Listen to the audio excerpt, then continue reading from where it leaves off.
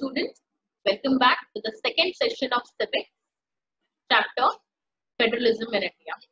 तो students last lecture में हमने स्टडी किया फेडरलिज्म क्या होता है। फिर हमने unitary and federal form of government जो है दो अलग अलग फॉर्म ऑफ़ गवर्नमेंट के बीच का डिफ्रेंसिएशन देखा। थर्ड हमने देखा फीचर्स क्या है फेडरलिज्म सेवन फीचर्स हमने स्टडी अब स्टूडेंट्स हम देखेंगे कि जो फेडरेशन है वो हर एक कंट्री का अलग होता है। जिसकी एग्जांपल देती हूँ मैं आपको। सेंटर स्टेट के साथ पावर शेयर कर रहा है। क्लियर लेकिन सारे कंट्रीज़ में इक्वल शेयरिंग ऑफ़ पावर है बिटवीन सेंटर एंड स्टेट नहीं स्टूडेंट एग्ज़ाम्पल लेते हैं इंडिया का। तो इंडिया में सेंटर स्टेट के साथ रिलेशन शेयर कर रहा है पावर शेयर कर रहा है। बट कौन से कौन से पावर्स शेयर कर रहा है वो डिफरेंट है। एंड कितना पावर्स है वो भी डिफरेंट है। वैसे ही आप अगर दूसरे कंट्रीज़ बेल्जियम की बात करो तो बेल्जियम में भी पावर्स शेयर हो रहे हैं बट तरीका अलग है एंड पावर्स कितना शेयर हो रहा है वो भी डिफरेंट है। तो हम ये बता सकते हैं कि सेंटर एंड स्टेट लेवल के जो गवर्नमेंट्स है, उनके बीच में पावर शेयर होता है but it differs from one federal country to another India जो फेडरल कंट्री है, वहाँ पर इन दोनों का रिलेशनशिप या पावर शेयरिंग डिफरेंट है सेंटर स्टेट का। एंड बेल्जियम की बात करो तो वहाँ पर पावर शेयर कर रहे हैं बट वहाँ पर भी अलग है क्लियर स्टूडेंट्स तो one federation that is federal country to another federation that is federal country vary करता है तो ये कैसे वेरी करता है let's understand with two you can say instances now there are two ways दो तरीके हैं, जिससे आप बोल सकते हो कि भाई हाँ ये फेडरेशन है हाँ ये दूसरा काइंड ऑफ़ फेडरेशन है that is this is the first kind of federation तो पहला रूप देखते हैं। The first route involves independent states coming together on their own to form a bigger unit. Clear तो यहाँ पर स्टूडेंट्स क्या होता है? कमिंग टुगेदर आप आप ये अज्यूम करना एक साथ आ रहे कमिंग का मतलब क्या होता है? एक साथ आना। करेक्ट दैट इज़ एक साथ आ रहे हैं इंडिपेंडेंट स्टेट अलग अलग स्टेट्स है ऑलरेडी इंडिपेंडेंट स्टेट्स एंड वो क्या कर रहे हैं स्टूडेंट्स एक साथ आ रहे हैं। एंड एक बड़ा यूनिट बना रहे हैं। जैसे कि A B C D E F G अलग अलग स्टेट्स हैं इंडिपेंडेंट स्टेट्स हैं। अब इन्होंने क्या बोला? अरे हम हम है ना, हमारी पावर्स इतने ज़्यादा नहीं है हमारे स्टेट्स लेकिन अगर हम ए टू जी जो है, वो एक साथ आ जाए तो सोचो कितना पावरफुल बन जाएगा हमारा ये स्टेट क्लियर हमारा जो कंट्री बनेगा, वो कितना पावरफुल हो जाएगा? तो वो क्या सोचते हैं कि हाँ हम हमारी सिक्योरिटी ए टू जी जितने भी स्टेट्स हैं इंडिपेंडेंट वो सब सोचेंगे कि हाँ हमारे सिक्योरिटी हमारा इकोनॉमी हमारे, हमारा सिक्योरिटी ये सारी चीज़ें हम क्या करेंगे? एक साथ लेके आएँगे एंड और ज़्यादा पावरफुल बन जाएँगे। क्लियर स्टूडेंट्स तो इसको बोलते हैं coming together federation So the first route involves independent states coming together on their own. खुद से आते हैं स्टूडेंट एंड एक बड़ा यूनिट बनाते हैं because they want to be more powerful अकेले ज़्यादा नहीं पावरफुल है, लेकिन सब एक साथ आ जाएँगे इंडिपेंडेंट स्टेट्स तो पावरफुल बन जाएँगे। So that by pooling sovereignty and retaining identity, they can increase their security. क्या करेंगे स्टूडेंट्स अपना इकोनॉमी यूज़ करेंगे, अपना इकोनॉमी लिंक करेंगे सिक्योरिटी लिंक करेंगे, और ज़्यादा पावरफुल बन जाएँगे। एंड सिक्योरिटी भी ज़्यादा हो जाएगी। एक को मारना मुश्किल नहीं है, मर सकता है एक स्टेट उसको खत्म कर सकते हो डिस्ट्रॉय कर सकते हो, लेकिन एक साथ ए टू जी आ जाएगा तो आप नहीं destroy so this type of coming together federations include USA, Switzerland and Australia यहाँ पर आप देखोगे इंडिपेंडेंट स्टेट्स है यूएसए में भी। वो सब एक साथ आए हैं एंड उनकी मर्ज़ी स्टूडेंट्स यहाँ पर वो इंडिपेंडेंट स्टेट की मर्ज़ी होती है। उनको जब वो फेडरेशन से निकलना है वो निकल जाएँगे। तो अगर ए टू जी समझो यूएसए की कॉलोनीज है यूएसए की इंडिपेंडेंट स्टेट्स है तो उसमें अगर सी डी को नहीं रहना है तो वो क्या करेंगे? गिव अप कर देंगे। नहीं, हमको नहीं रहना है। वापस इंडिपेंडेंट बन जाए क्लियर स्टूडेंट्स तो ये काइंड ऑफ़ फेडरेशन जो फ़र्स्ट काइंड ऑफ़ फेडरेशन है। वो यूएसए है स्विट्जरलैंड में भी ऐसा ही फेडरेशन है एंड ऑस्ट्रेलिया क्लियर तो दैट इज़ आप इसको कैसे याद रखोगे? USA U stand for USA S stand for Switzerland and A stand for Australia अब यहाँ पर पावरफुल क्या रहे कौन रहेगा स्टूडेंट स्टेट रहेगा या सेंटर सेंटर कौन बना रहा है? स्टेट ही बना रहा है ना? इंडिपेंडेंट स्टेट तो पावरफुल कौन रहेगा? स्टेट गवर्नमेंट ज़्यादा पावरफुल रहेगी as compare to federal because state ही बहुत पावरफुल है। वो एक साथ क्यों आ रहा है? बिकॉज़ उनको और पावरफुल बनना है। तो स्टेट यहाँ पर हर एक state independent state government powerful रहेगी। So in the first category of federation, all the constituent states usually have equal power and they are strong vis-a-vis the federal government. Correct? That is, they are stronger than federal government. So first में हमने देखा coming together में independent states एक साथ आ रहे हैं, correct?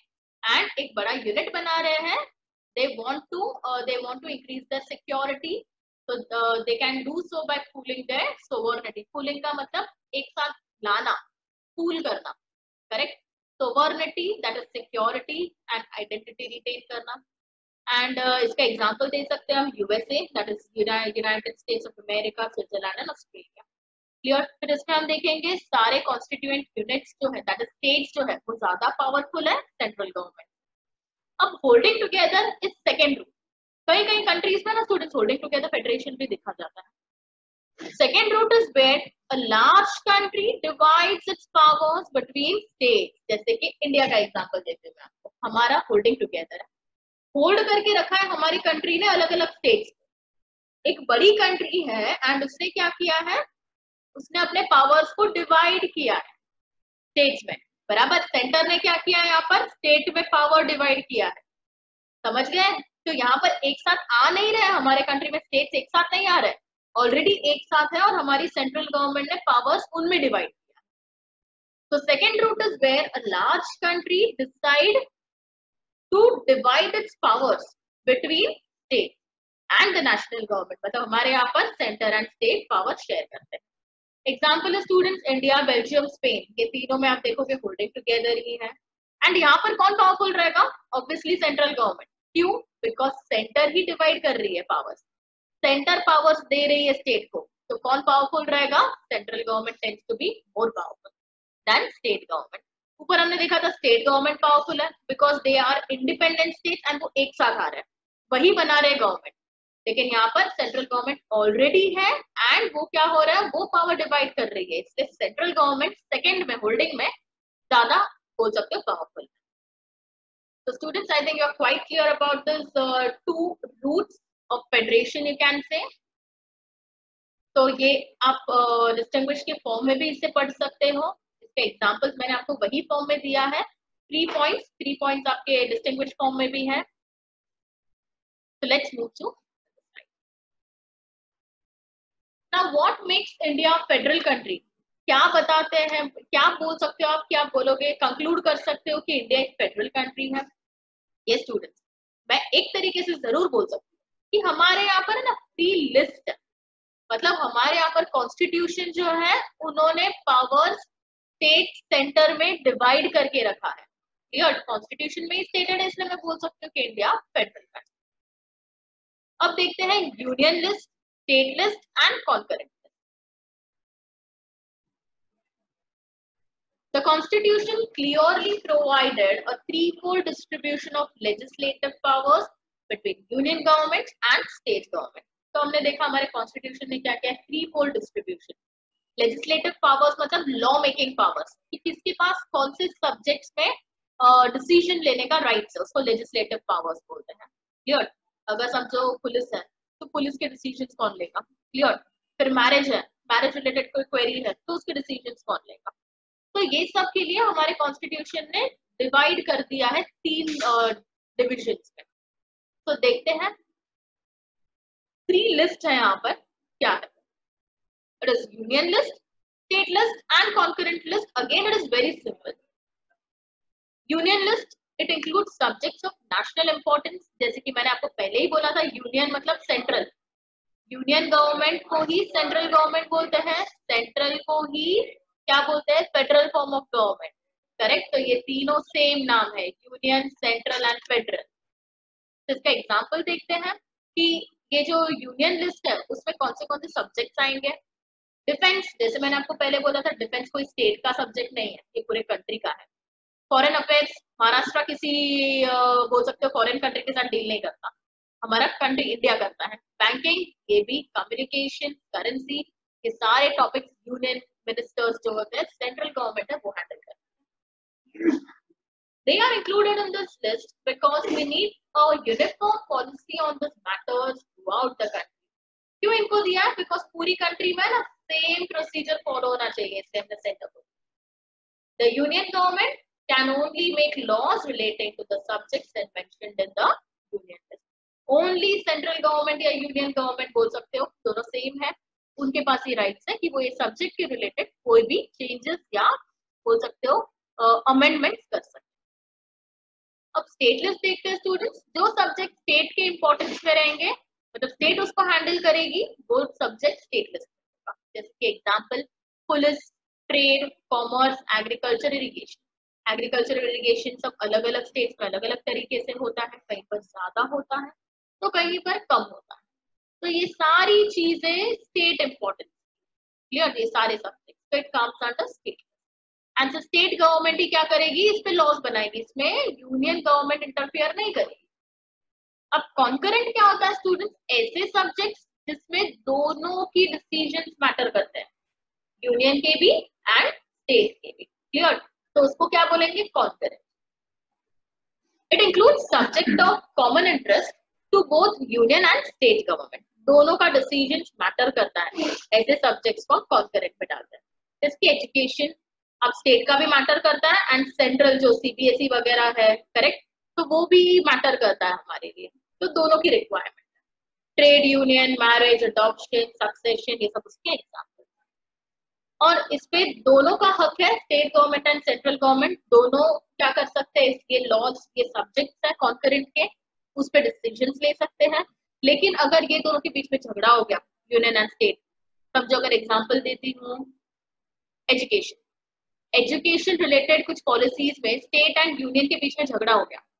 Correct ये तो कॉन्करेंट में दोनों के पास राइट्स है। डिसीज़न लेने का, लेकिन फिर भी यहाँ पर यूनियन गवर्नमेंट जो डिसीज़न लेगी, वही प्रिपेयर करेगा।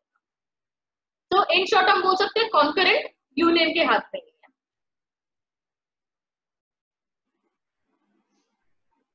तो स्टूडेंट्स हमने यहाँ पर देखा थ्री लिस्ट के बारे में, ये लिस्ट है, इसलिए हम बोल सकते हैं इंडिया फेडरल कंट्री क्लियर ये पावर्स डिवाइडेड है between central state and government और लोकल गवर्नमेंट इसलिए हम बोल सकते हैं कि इंडिया एक फेडरल कंट्री क्लियर स्टूडेंट्स तो ये बहुत इंपॉर्टेंट है, इसे ऐसे याद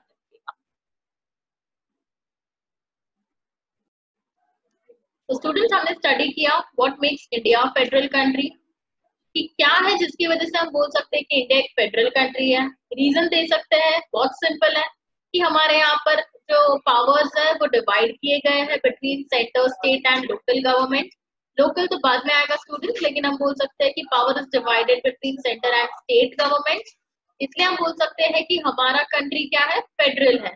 बहुत सारे सब्जेक्ट्स है जो क्या होता है, हम देखेंगे अलग अलग लिस्ट जो है, उसमें एंटाइटल्ड है, वही स्टेट गवर्नमेंट हो या सेंट्रल गवर्नमेंट उनको अलग अलग सब्जेक्ट्स दिए हैं एंड वो उस पर ही क्या करते हैं? बोल सकते हो लेजिस्लेट करते हैं। तो ये तो था डिफरेंट अब हम स्टार्ट करेंगे हाउ इज़ फेडरलिज्म प्रैक्टिस पहला क्वेश्चन क्या था? कंफ्यूज मत होना। पहला क्वेश्चन था what makes India a federal country किसकी वजह से बोल सकते हो कि इंडिया फेडरल कंट्री है? बराबर? ये क्वेश्चन था वो, जिसकी वजह, आप बोल सकते हो कि तीन लिस्ट है, जिसकी वजह से इंडिया एक फेडरल कंट्री माना जाता है। लेकिन अब क्वेश्चन आता है कि फेडरलिज्म को प्रैक्टिस कैसे करते हैं? कैसे बता, बताओगे कि फेडरल कंट्री है, यहाँ पर प्रोसीडिंग्स क्या होते हैं? तो स्टूडेंट्स ये स्टडी करते हैं। सबसे पहला लिंग्विस्टिक स्टेट आपको पता है, जब हमारे यहाँ पर ब्रिटिश लॉज रूल कर रहे थे फिर आप देखोगे यूके दैट इज़ हमारा मिडिल जो है, बोल सकते हो, उत्तर प्रदेश वगैरह यूनाइटेड प्रोविंसेस बोला जाता था, फिर बंगाल है, फिर मद्रास वगैरह, ये सब अलग अलग प्रोविंसेस में डिवाइडेड था हमारा लेकिन जब हमें इंडिपेंडेंस मिला, तब हमने हमने क्या बोला कि हम हमारे कंट्री को स्टेट्स में डिवाइड करते हैं। क्लियर हमारे जो असेंबली मेकर्स है कॉन्स्टिट्यूशन मेकर्स है, उन्होंने सोचा कि हम लिंग्विस्टिक बेसिस पे दैट इज़ लैंग्वेज बेसिस पे हम स्टेट्स को डिवाइड करते हैं। दैट इज़ अलग अलग स्टेट्स बनाते हैं। एंड दे थॉट कि अगर हमने वही लैंग्वेज स्पीकिंग पीपल को उनके स्टेट में डाला तो that would be good enough वहाँ के लोग एक साथ ज़्यादा यूनाइटेड रहेंगे according to the constituent constitution makers clear जैसे कि आप देखोगे, आप गुजरात जाओगे तो वहाँ पर गुजराती पीपल है। वहाँ की गुजरात गवर्नमेंट है, वो गुजराती लैंग्वेज में एडमिनिस्ट्रेशन करती है। करेक्ट तो उनका प्रोसीडिंग्स भी वो लैंग्वेज में होता है। एंड आप महाराष्ट्र की बात करो तो महाराष्ट्रियन ज़्यादा है। बंगाल की बात करो तो बंगाली ज़्यादा है। केरला की बात करो तो साउथ इंडियन ज़्यादा है। बराबर? यूपी में देखोगे तो बिहारी जो होता है काइंड ऑफ़ वो ज़्यादा है। क्लियर राजस्थान में मारवाड़ी है। तो यहाँ पर हमने क्या किया? हमारे कॉन्स्टिट्यूशन मेकर्स ने अलग अलग लैंग्वेज स्पीकिंग को अलग स्टेट ही दे दिया। लेकिन उनको डर था स्टूडेंट क्या डर था? हमने अलग अलग सबको इंडिविजुअल ऑटोनॉमी तो दे दी। उनके लिए अलग स्टेट बना दिया एंड सारे जो वो स्पीकिंग लैंग्वेज स्पीकिंग पर्सन है पीपल है, उनको वही स्टेट में डाला। क्या इससे कंट्री डिसयूनाइट होगी? ये एक टेंशन उनके दिमाग में था जब उन्होंने ये पॉलिसी बनाई। लेकिन स्टूडेंट्स बोलते डर के आगे जीत है। तो दैट इज़ यहाँ पर यही हुआ, उन्होंने ये पॉलिसी बना दी एंड जब उन्होंने हिस्ट्री में पीछे मुड़ के देखा after so many years they thought कि ये सबसे अच्छा उन्होंने डिसीज़न लिया था। इससे क्या हुआ स्टूडेंट्स हमारी कंट्री डिसयूनाइट नहीं, हमारी कंट्री और ज़्यादा यूनाइट हो गई। बिकॉज़ आज गुजरात है, गुजराती पीपल गुजरात गवर्नमेंट उनके लिए कुछ कर रही है। महाराष्ट्र की गवर्नमेंट महाराष्ट्र के लिए कर रही है। तो यहाँ पर हर एक हर एक जो पर्सन है, उनके लिए कुछ ना कुछ किया जा रहा है। एंड वो आपस में कभी लड़ते ही नहीं है because they are getting what they deserve तो लिंग्विस्टिक स्टेट्स यही है कि हमने क्या किया? वापस यहाँ पर पावर्स शेयर कर दिए स्टेट गवर्नमेंट के साथ। स्टेट जो अपने अकॉर्डिंगली कर सकता है सब कुछ। तो in 1947 and that of 2013 you will be surprised by the extent of the changes independence मिला एंड 2013 की बात करें तो ये पीरियड में स्टूडेंट बहुत ज़्यादा चेंजेस हो गए, जिससे आप सरप्राइज़ हो जाओगे। Many old states have vanished and many new states have been created. बहुत सारे जो स्टेट्स है, वो वैनिश हो चुके हैं मतलब इरेज हो चुके हैं। एंड बहुत सारे नए नए स्टेट्स जो हैं, वो एमर्ज हुए हैं। Areas boundaries and the names of the states have been change student recent ही है तेलंगाना आंध्र प्रदेश पहले आंध्र प्रदेश था अब इतना बड़ा एडमिनिस्टर हो नहीं पा रहा था अच्छे से वर्किंग नहीं हो पा रहा था इसलिए उसको डिवाइड कर दिया। क्लियर तो तेलंगाना एंड आंध्र प्रदेश में डिविजन हो गया। तो एक एरिया हमारा बढ़ गया काउंट बढ़ गया। तो areas boundaries and names of the states have been change बहुत सारे जगहों के नाम चेंज हो गए। In 1947, the boundaries of several old states of India were changed in order to create new states. तो 1947 में जब इंडिपेंडेंस मिला तब हमने क्या किया? दो दो जो एक प्रेसिडेंसी थी, उसको स्टेट्स में डिवाइड करके बॉर्डर्स दे दिए कि हाँ ये स्टेट इसका। This was done to ensure that people spoke the same language live in the same state कितना अच्छा हो जाएगा स्टूडेंट सब सेम लैंग्वेज वाले एक ही स्टेट में रहेंगे तो। तो इसीलिए उन्होंने क्या किया था? बाउंड्रीज अलग अलग बना दी। मतलब जो पहले 1947 में इंडिया था, अब वो इंडिया नहीं है। उसमें बहुत सारे हमने हो सकते बाइफोर्केशन कर दिए। Some states were created not on the basis of language, but to recognize differences based on culture, ethnicity, or geography. These include states of Nagaland, Uttarakhand, and Jharkhand. तो स्टूडेंट्स हम देखेंगे कि uh, कुछ स्टेट्स ऐसे बने थे जो language के बेसिस पे नहीं मतलब ऐसा नहीं है कि लैंग्वेज के बेसिस पे अलग स्टेट बनाया लेकिन हमने कल्चर को ध्यान में रखा हमने जोग्राफिकल कंडीशंस को ध्यान में रखा एथनिसिटी को ध्यान में रखा एंड अकॉर्डिंगली बनाया। जैसे एग्ज़ाम्पल दे मैं नागालैंड। नागालैंड में कोई पर्टिकुलर स्पीकिंग पीपल नहीं रहते। उत्तराखंड में भी पर्टिकुलर स्पीकिंग पीपल नहीं रहते। क्लियर तो वहाँ का एथनिसिटी वहाँ का कल्चर अकॉर्डिंगली वहाँ पर अलग अलग स्पीकिंग पीपल जो है different speaking people language speaking people वो भी वहाँ पर रहते हैं। तो आई थिंक ये लिंग्विस्टिक स्टेज के बारे में काफ़ी इंफॉर्मेशन मैंने दे दी। तो जो हमारे कॉन्स्टिट्यूशन मेकर्स है वो बहुत ज़्यादा खुश हो गए बिकॉज़ दे थॉट कि इंडिया को ये डिसनाइट करेगा कंट्री को लैंग्वेज के बेसिस पे डिवाइड करना। लेकिन ये क्या बन गया स्टूडेंट बहुत अच्छा एक मेथड uh, बन गया या फिर बोल सकते हो बहुत ही अच्छा डिसीज़न बन गया। तो फेडरलिज्म पहला ऐसे लिंग्विस्टिक स्टेज के थ्रू प्रैक्टिस किया गया था। सेकेंड देखते हैं और क्या किया? कैसे फेडरलिज्म प्रैक्टिस किया गया है? नेक्स्ट देखते हैं। लैंग्वेज पॉलिसी अब स्टूडेंट्स अगर मैं बोलूँ कि सबको हिंदी ही बोलना है सेंट्रल गवर्नमेंट ने ऑर्डर दे दिया कि हम लैंग्वेज को रिस्पेक्ट नहीं करेंगे, हिंदी हमारा ऑफिशियल लैंग्वेज हमारा नेशनल लैंग्वेज तो क्या हम फेडरल कंट्री में रह रहे हैं? नहीं स्टूडेंट तो फेडरलिज्म प्रैक्टिस करने के लिए हमने एक लैंग्वेज पॉलिसी बनाई। लैंग्वेज पॉलिसी क्या बताती है कि there are 22 languages, including Hindi. Correct? Including Hindi, there are 22 recognized languages. समझे आप स्टूडेंट्स कितने सारे लैंग्वेजेस हैं? एंड हमने क्या किया? हमने ऑफिशियल लैंग्वेज बताया कि नहीं? यहाँ पर हमने ना नेशनल लैंग्वेज बताया हम देखेंगे हिंदी जो है उसको ऑफिशियल लैंग्वेज बताया हमने नेशनल लैंग्वेज हमारा कोई नहीं है। अगर स्टूडेंट्स नेशनल हम बताते ना तो हर एक पर्सन को फॉलो करना पड़ेगा। लेकिन हमने उसको सिर्फ़ ऑफिशियल रखा, ताकि सिर्फ़ एडमिनिस्ट्रेशन या कुछ हो तो हिंदी में कर सकते हिंदी आपको पता है, हमारे यहाँ की it is only forty percent of Indian speak Hindi correct बहुत सारे लोग हिंदी नहीं बोलते। Only forty percent people speak in Hindi उसके घर पे, उसके घर पे। क्लियर ऐसे तो बहुत सारी अलग अलग लैंग्वेजेस है जो लोग बोलते हैं। सिक्सटी परसेंट जो दूसरे इंडियंस हैं, वो अपनी लैंग्वेजेस यूज़ करते हैं। दैट इज़ शेड्यूल तो देखते हैं, हमने देखा कि फेडरल कंट्री इसलिए बोला जाता है बिकॉज़ हमने लैंग्वेज पॉलिसी अडॉप्ट की है।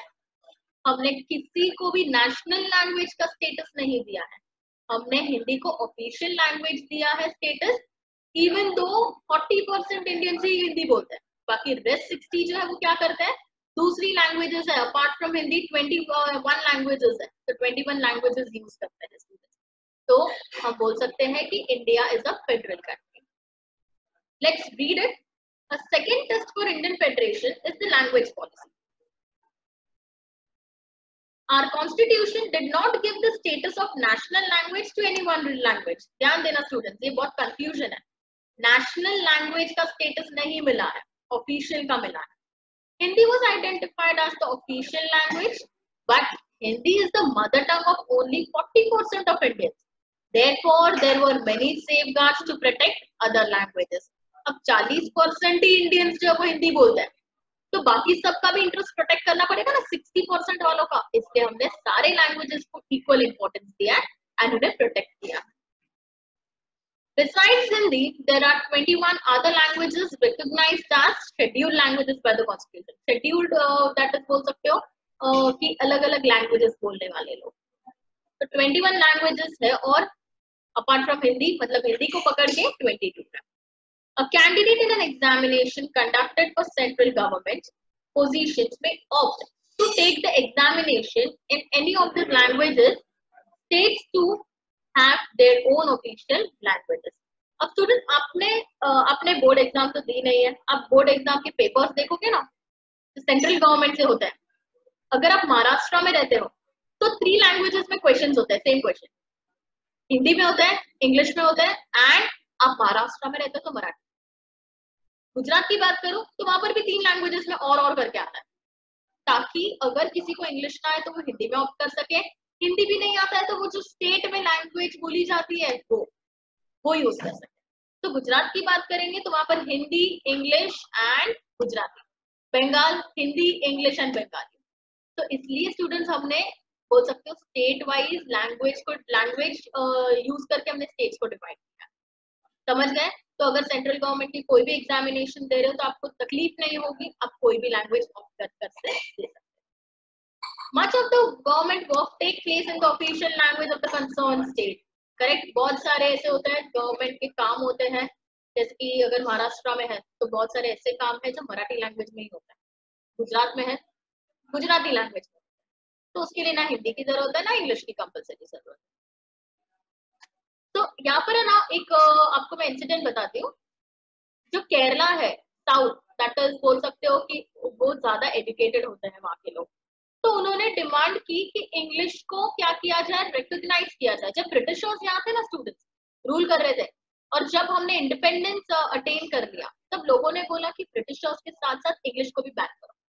That is English should not be considered any language for Indian उसको फेंक दो, उसको यूज़ मत करो।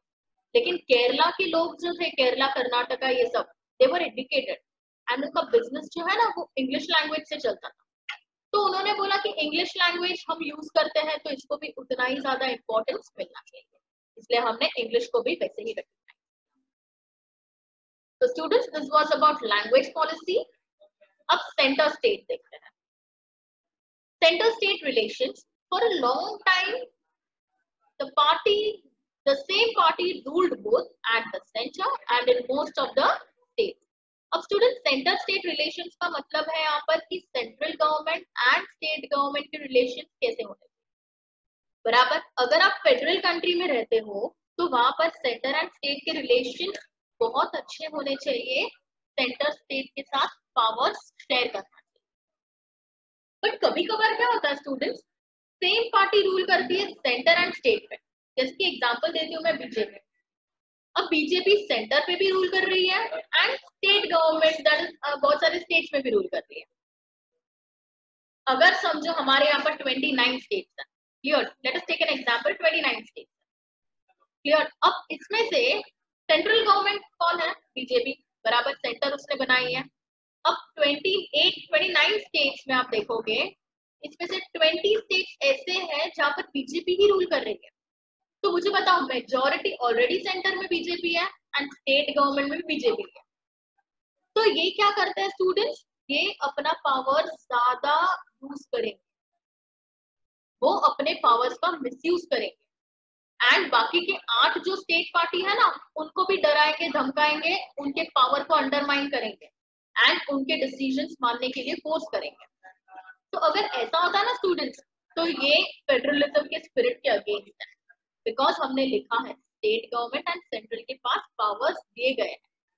लेकिन जस्ट बिकॉज़ स्टेट गवर्नमेंट जो फॉर्म हो रही है, वहाँ पर भी बीजेपी ही रूल कर रही है तो क्या होगा? It is next to impossible कि भाई जो माइनॉरिटी में रूल कर पाए। तो वो हमेशा क्या करती है पावर का मिस यूज़ करके, जो बची आठ स्टेट्स है, जहाँ पर कोई अलग पार्टी रूल कर रही है, उनको अंडरमाइन कर देती है। मतलब उनको प्रेशराइज करती है कि आपको हमारे ही पॉलिसी फॉलो करना यही सेंटर स्टेट रिलेशन अगर ऐसा चला तो फेडरलिज्म का स्पिरिट यहाँ पर undermine for a long time the same party ruled both at centre and in most of the states जैसे कि मैंने एग्जांपल दिया 28 स्टेट्स तो उसमें से 20 जो है, वहाँ पर बीजेपी रूल कर रहा है, आठ में से कोई और। This meant that the state government did not exercise their rights as autonomous federal unit. मतलब यहाँ पर आप देखोगे कि भाई कोई भी स्टेट को अपने हिसाब से काम करने का राइट्स नहीं as and when the ruling party at the state level was different मतलब आठ वो आठ पार्टी है उसमें से the parties that ruled at center tried to undermine the power of state. तब तब क्या होता है स्टूडेंट जब जब स्टेट में कोई अलग पार्टी है, वहाँ पर जो मेजोरिटी पार्टी दैट बीजेपी है वो उनको क्या करेगी? उनको अंडरमाइन करेगी मतलब सुपीरियर बताएँगे in those days central government would often misuse the constitution मतलब जब हमारे कंट्री को आज़ादी मिली थी ना स्टूडेंट तब सेंट्रल गवर्नमेंट हमेशा मिसयूज करती थी। हमेशा अपने पावर्स को मिसयूज करती थी एंड स्टेट गवर्नमेंट को डिसमिस कर देती थी एंड वहाँ पर भी अपना राज चलाती थी। मतलब ट्वेंटी तो ऑलरेडी था ट्वेंटी स्टेट्स अब आठ स्टेट्स को भी क्या करेगी?